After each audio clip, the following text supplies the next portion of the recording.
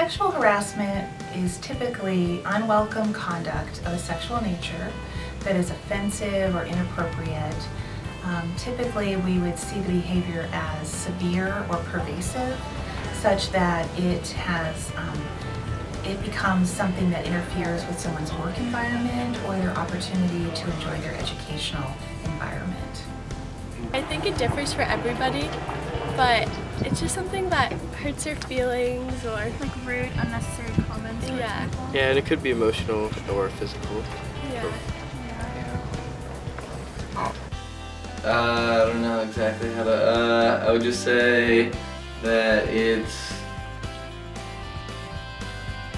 when somebody is acting, I don't know, sexually towards someone else and another person doesn't feel the same way or isn't on the same page. I don't know. So instead of getting called a loser or fat or something like that, in sexual harassment the words start to become more sexualized, so you hear a lot of fag or hoe or something like that. It's also a way of um, putting people into their place. We want, when we're sexually harassing someone, what we're trying to do is feel superior to them in a way. And so it can be used as a way to harm people. Sexual harassment to me would just be something that would cause someone maybe emotional trouble in a sexual manner. Sexual harassment. Well, I think of the two words. Harassment simply seems to me is when someone is uh, irritating you, annoying you, doing things that you don't like. Throw in the sexual component, then that has to do with sexual harassment. I, I believe that it's uh, it's a situation where uh, you're made to feel uncomfortable by someone, male or female. Sexual harassment is when someone makes an unwanted sexual comment or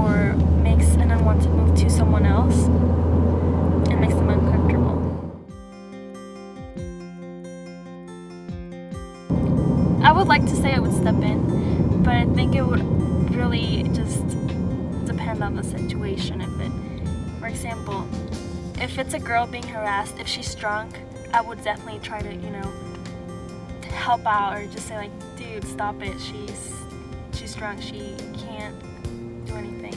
And um, if it was a guy, it'd be a little bit hard, I guess, because of that double standard. You know, that guys can protect themselves. I think I would step in. Personally, just getting in between them and forming maybe a barrier between them would help, or just anything I could do really to calm them down, or maybe talk some sense into them. It's just another technology. We're such good tool using animals, right? We can use tools in such negative ways as well as such positive ways. I think something else that the internet has done has um, almost created this, this kind of trolling culture where people want to try to get a negative reaction from someone because it's just kind of fun to see if you can get somebody wound up. Well, unfortunately, you know, the internet and technology can be used for the good and it can also be abused. And so um, certainly the definition of harassment doesn't change because unwelcome conduct can occur in person, it can occur online, um, it can occur even non-verbally with gestures. And so absolutely online, on emails, on you know Facebook posts, um, we do see evidence of harassment. I think that there can be an empowerment to the anonymity that is offered on the internet. I think also you lack the opportunity to gauge response to your um, words and so there are times I think when individuals just aren't thinking about the impact of their um, postings or their writings and how that's affecting someone. Um, it just seems like it fuels the fire. Maybe just add a little, another like form of communication for like rumors to start, or even just like people that want to start stuff just have access to do so. And it just, I don't know, seems like it worsens the situation. It adds a, a big feel. It adds just the biggest boost, I guess, to all types of harassment. Like, I know for a fact there was this page made on Facebook, like I was a freshman in college, and it was about a bunch of the girls I went to high school with in surrounding high school, and they called it AZ Sluts. And you pretty much just put like, like the dirty, put it on Facebook, put them on blast, and I just think of like with everything like that, it's just a big advantage. And then like the whole Snapchat deal, like I didn't know what that was until like the other day. And like, oh, yeah, so you, you send a pic and it goes away in like three seconds. It's like, is that just like sexting? Like it's pretty much just made for sexting.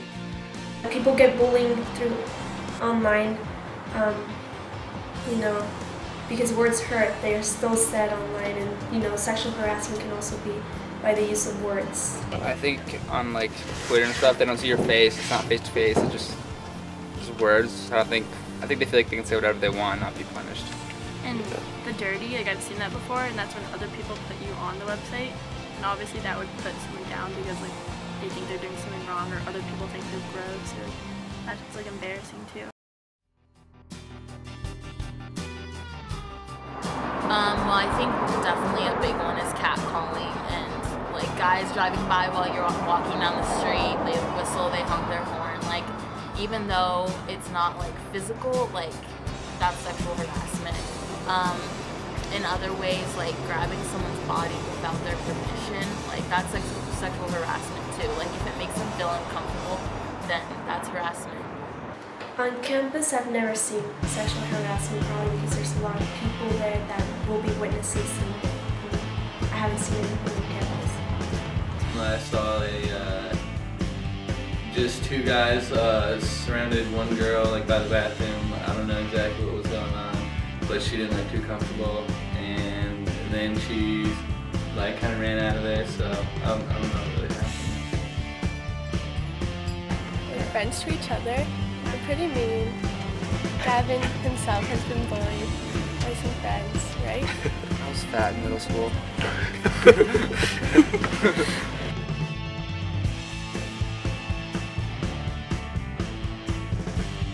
It's interesting the gender dynamics in sexual harassment because women often have a hard time reporting sexual harassment because they're brought up to be inferior to men and submissive to men, and they're also brought up to be kind of seductive and sexy, and so when men come onto them, even if it's not welcome, they feel like uh, they ought to tolerate it. On the other hand, when girls are sexually harassing boys, it can also be hard for boys to uh, to stop that because they're brought up that they're supposed to be welcoming of any sort of sexual attention from a woman. And so if a girl is coming on to a boy, it's hard for him to say no because people might question his sexual orientation or whether he's a real man because he should be welcoming that.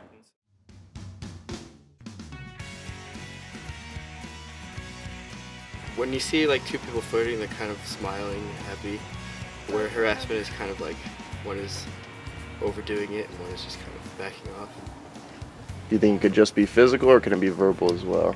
Uh, it can be physical, like grabbing someone like at a dance or something when they don't want to against it, you just try to grab and stuff. That's such a good question because I think it's confusing for a lot of kids because it's still really confusing for a lot of adults.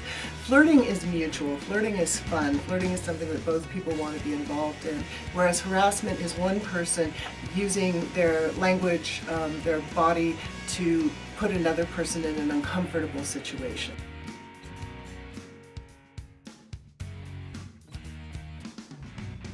I think one's milder. I think abuse is where police may be involved. Uh, I think harassment is, a situation where you might want to talk to someone else or, or deal with it or go directly to that person. I can give you an example uh, without any names mentioned, but we had some middle school students, uh, two boys. One went up to a girl in the hall and held her while the other boy groped her. That's sexual assault, that's abuse, and that is serious. And I, that's how I see the difference. They're both wrong, but one is gravely wrong. Well, the difference between harassment and abuse or assault is um, an act that's physical in nature. So as soon as something becomes physical, it crosses the line from harassment to either abuse or assault and um, can be a criminal act.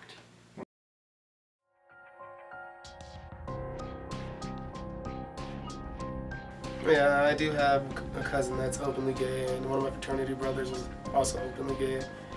And so you have to just deal with the whole the everybody's negative stigma of like just a bunch of guys there and oh there's a gay guy around who's gonna hit on me all this stuff and they're always making jokes. And honestly, it's just like no no reason to do so. Like if he was really attracted to you, he wouldn't just go and start hitting on you. Knows he knows you're not, you know, his of the same sexual orientation.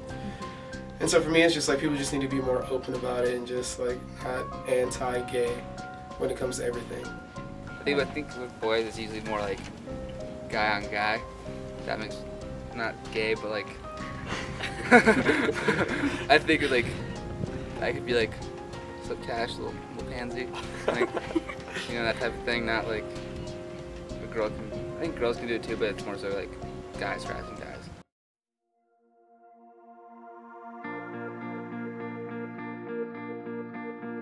guys. If you're at school, the first thing to do is to know that it is illegal for people to harass you, to make you feel uncomfortable. I think the worst possible thing that you can do is to continue to put up with the harassment because it really does eat away at you. It's going to raise your levels of stress, it's going to decrease your self-esteem, it's going to make it harder for you to eventually get out of that situation. When it's occurring, you need to you need to find someone that you can confide with and speak to about. Because you're, a lot of times you're keeping it inside and it's irritating, and bothering you. You know, really maybe you're afraid to talk to your parents, but that's a good place to go. But a really good place to go to is, is a friend or a teacher or someone that you feel uh, that you have a relationship that you can feel comfortable about speaking with. I know there's 24-hour hotlines and places like that that you can go to, that you can find online. So there are a variety of sources, but I think the the best thing is just to talk to someone and get some advice how to stop it from happening. I think sometimes we forget that the environment itself can feel really dangerous and unsafe even if you're not the target of the sexual harassment. So the advice I would give to someone who's experiencing sexual harassment is to find allies. Remember that it's a kind of bullying, and so there's a power imbalance, and that's why the person is able to continue harassing you. So what you need to do is try to figure out a way to sort of balance out that power. Don't blame yourself for what's happening. People will find ways of harassing you no matter what you're wearing, no matter what you look like, no matter what you're doing. But find ways that you can keep yourself safe and strong.